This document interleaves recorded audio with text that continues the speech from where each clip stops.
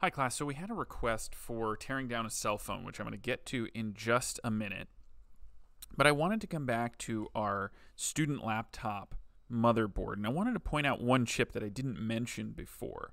And that's this little chip right here. This chip is part of what's called the ROM, R O M. It's a little different than RAM.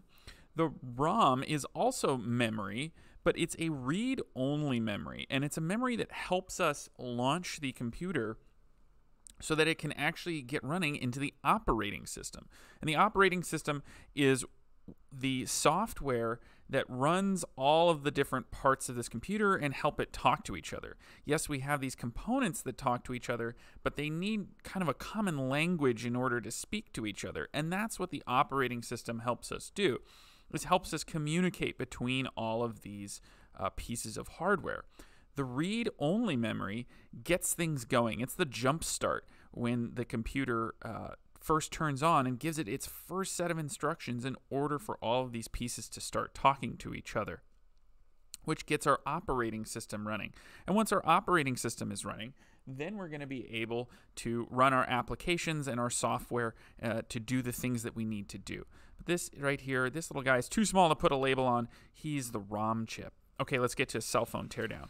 Here is our cell phone. This is an old iPhone 6S. This is actually my old personal phone.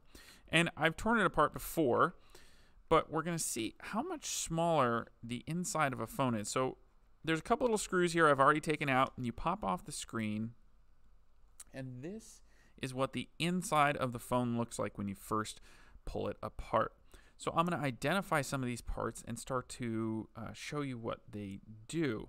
So first thing I'm going to do, I'm going to very gently and carefully pull the ribbon cables for the screen off. So you see all these these tiny little cables, super, super, super tiny connectors, are what give the information to and from the touchscreen. And touchscreens are really interesting. We talked about how monitors are output devices. Well, touchscreens are input and output devices. They have to be able to take inputs from your presses and moves and swipes and pinches uh, and all the different things that you can do.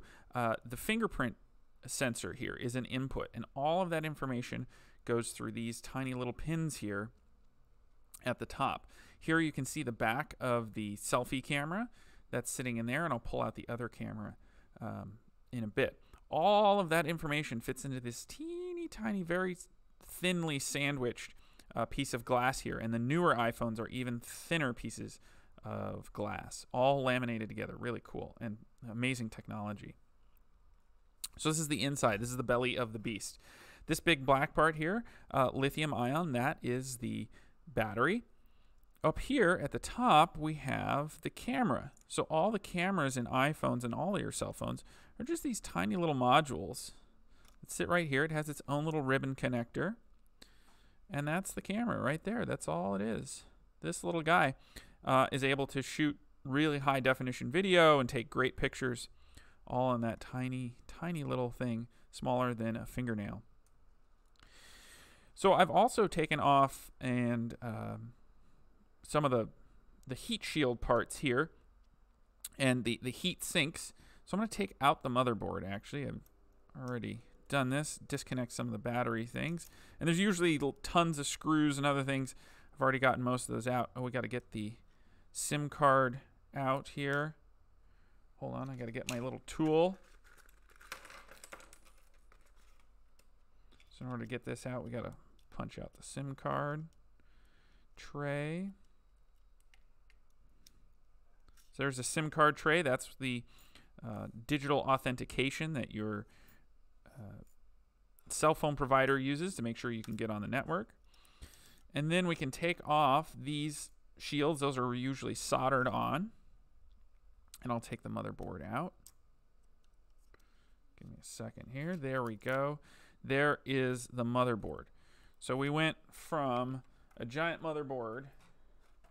It's not even really going to fit on camera in this zoomed in mode. Here's the giant motherboard to your student laptop and all the way down to a cell phone motherboard right here. This little black box, you can might be able to make out the lettering says A8. This is the the CPU.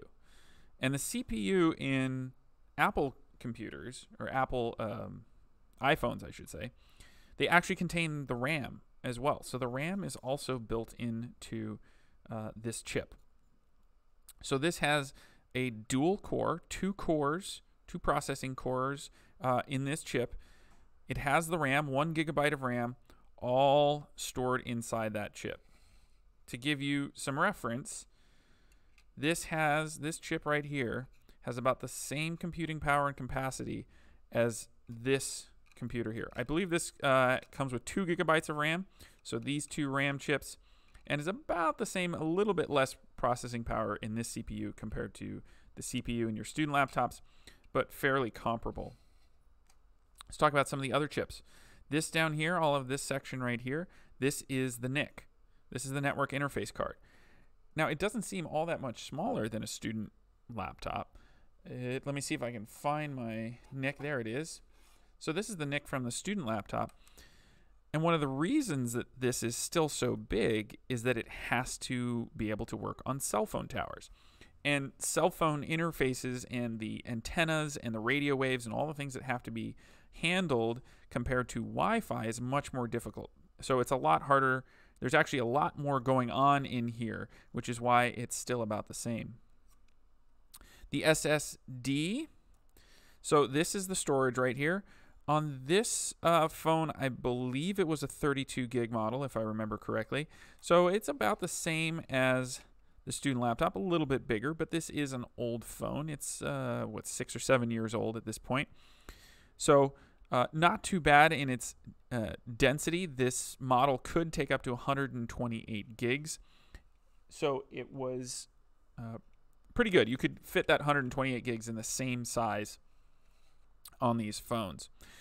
Down here, we have some accelerometer and other management uh, for you taking user inputs uh, and other things. Under here is power supply management, and you'll see there's this still this heat sink. I left that on there so you can see these are actually soldered on. I had to de, uh, really pull those off. We have this teeny tiny little cable. You might not be able to see it. That's part of the antenna that runs from the uh, NIC on the other side of this board and runs up to the top and connects through these pins up here.